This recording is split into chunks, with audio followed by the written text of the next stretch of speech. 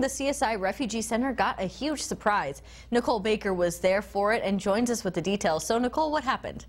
Well, Courtney, the LDS Church in American Falls collected trucks full of furniture and bicycles for refugees here in Twin Falls. The LDS Church spent four weeks collecting these items to deliver to the CSI Refugee Center. This morning, refugees from the church teamed up with Wells Fargo to unload trailers filled with beds, TVs, and more. Some of the items are new and some are used, but they say it's all in the name of God's love.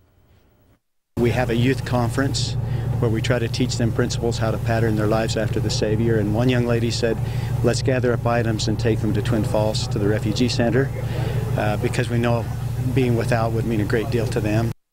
Call says they were just overwhelmed with how much community support they received. He also says the church is proud of how hard the youth worked to put this all together and make it a success.